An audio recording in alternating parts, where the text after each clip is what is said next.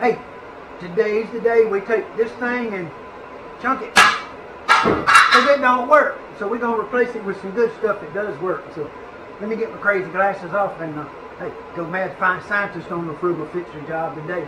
Let's uh, tear into this thing and get in this DC motor and put in this DC controller and show you all how it works. Let's get it.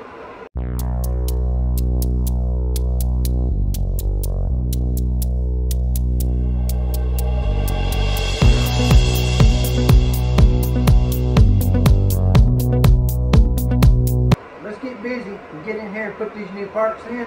First, let me show you what all we're going to put in it, and then we'll figure out a way to get it all in there. 'Cause we need a SCR speed speed controller, basically, is what it is. And then we need a rectifier. And then I need a switch to reverse this thing from forward to backwards because I need my machine to change directions.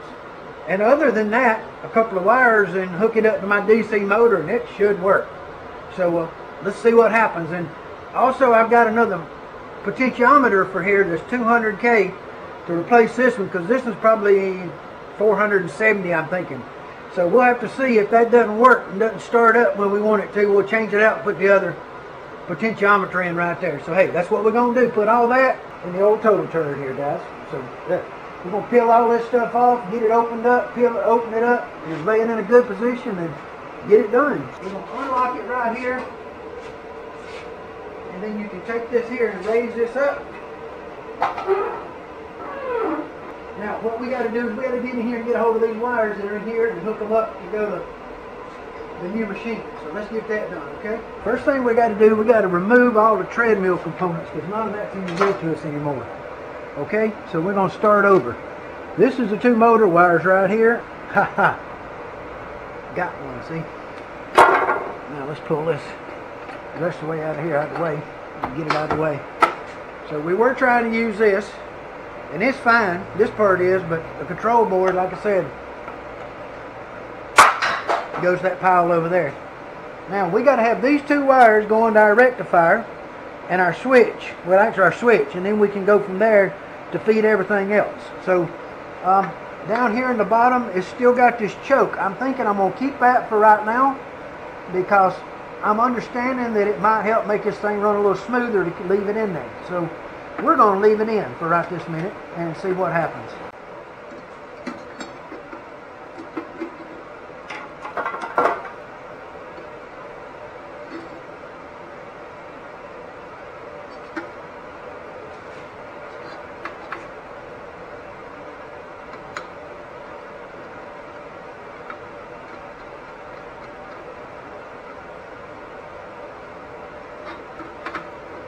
What I got here, I got hot coming in, I got common coming in, and then I'm going to bring common out.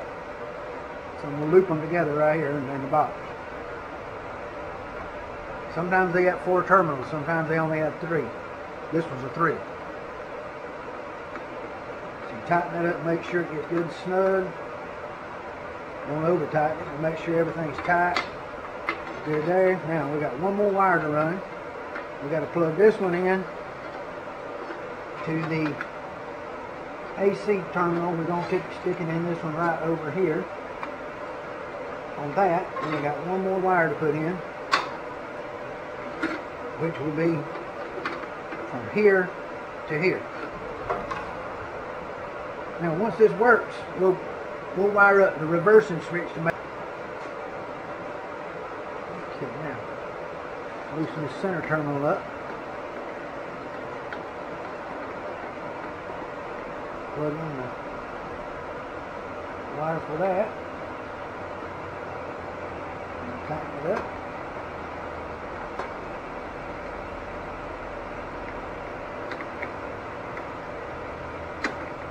Now we got speed control here. And we got this wire, which is our AC going to the rectifier and it marks the AC here. So AC on the rectifier goes here and here. So these two are AC and then these two come out DC. So we're going to hook that to that. And when we hook this thing up, it should be ready to go. Just like it is. So let me give this thing everything a look. Make sure I don't have anything touching anything it ain't supposed to. None of that kind of stuff. Okay. Uh, like I say, this here is this might need changing, so we're gonna have to see what it does. So yeah, we should be in good shape for that. We got the rectifier hooked up to there and there to there, and then it's here. We should be able to turn it on, get it to go, see how much it goes, and we'll be able to tell from that. Now, I've got a little method I use, guys, when I want to do a test like this. I put this cord down on the ground and put my foot on it, okay? I'm going to plug this one in. If I need to jerk it out, I got my foot on it to hold it down to jerk it out. Now, first smoke test comes out okay. I don't see any smoke. That's a good smoke test. Now, I'm going to keep this cord in my hand in case I need to pull it like this. So I got it ready to disconnect. But let's see.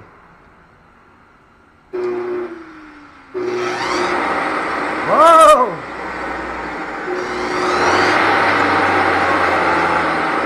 Oh, mercy, guys. Okay. We got to change this with this having to turn. Look at this. I'm having to turn. I'm probably three-fourths of the way around before it does anything. And I think I'm going to run another wire off of it to where it goes up there where we can put the switch up there in another better place instead of it being sticking out this stupid box. So, hey, let's get that done. We'll go in the shop where it's a little warmer and uh, get that done and we'll come back, wire that, move that, and yeah, get all that done. Hey, we on the move. I like the way it sounded. It was fast. It was zipping. Uh, we just got to get it where it's more variable and it needs a different potentiometer to make that happen. So let's go tear it apart and see if we can get one in it. I mean, here on the workbench, I need to open this thing up and uh, what, how much trouble it's going to be to unsolder or take out that potentiometer and replace it with that one. Shouldn't be that hard, right? I don't have to worry about scratching the finish like a guitar. Shouldn't be, but just two wires, I think, or three at the most. Should be able to just move them.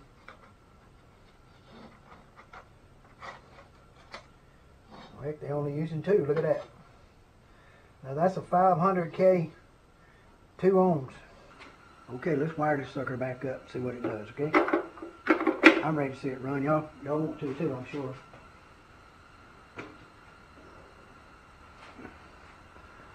I've got the wire right there. And I got these right here. So I'm going to part with the power in, just like we did last time.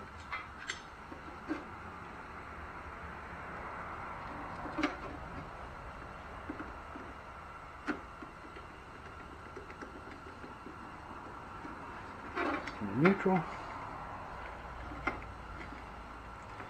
From there, oh.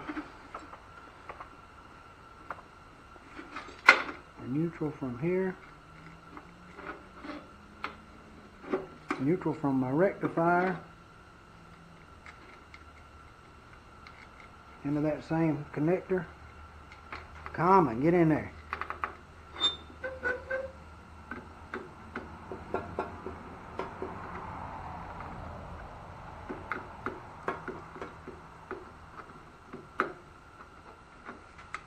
And then we got this one.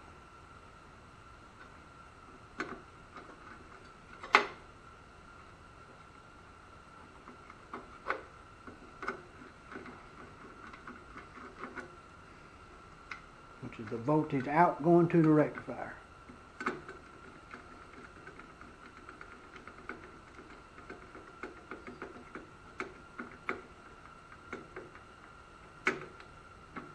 Now, we got red and black going to the motor, black and white going to the rectifier.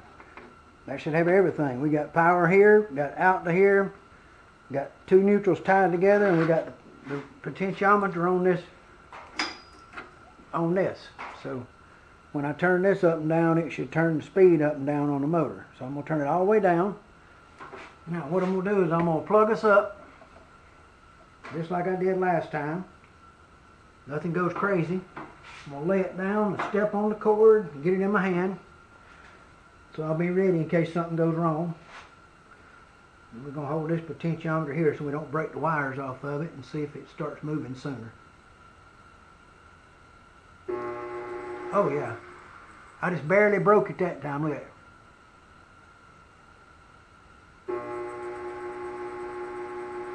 Oh yeah, look at that.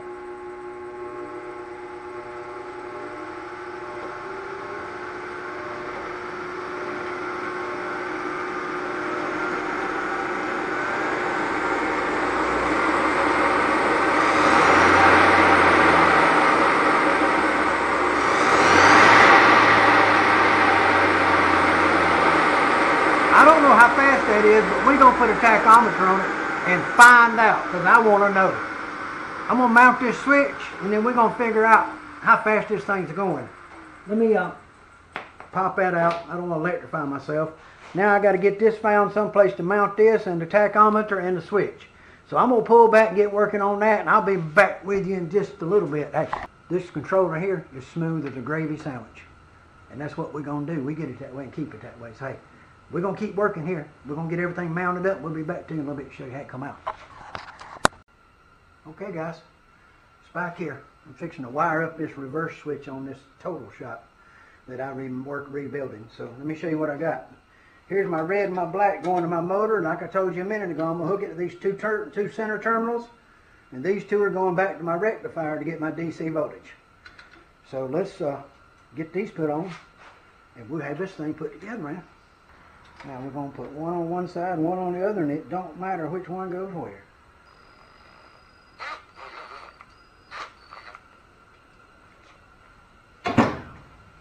Tug, tug, check, check, check, check.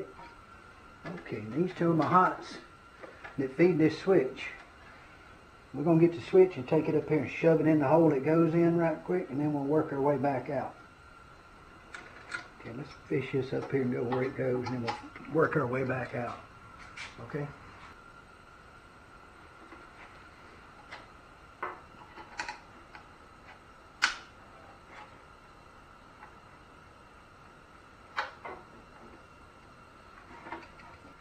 Okay, guys.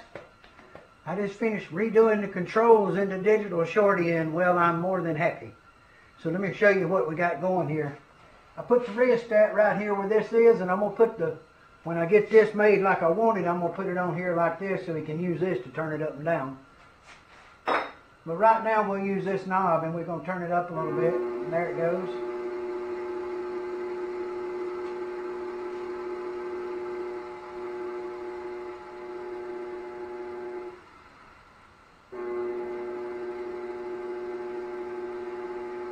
Been getting around 300 at the bottom, and then it comes up a little bit, but then we can crank it on up.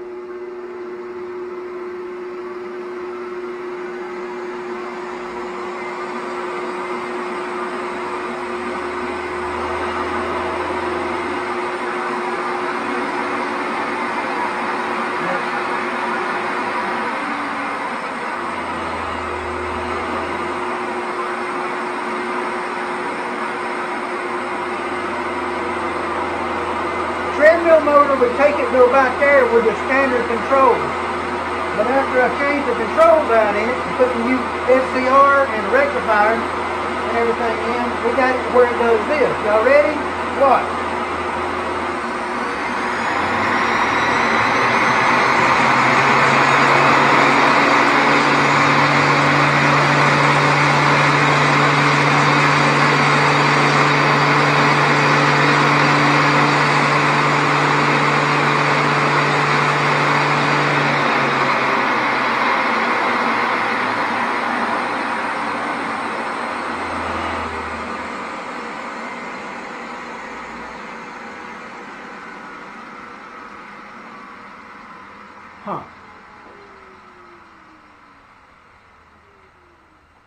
And naturally, so I could use the tool on that side, I done this.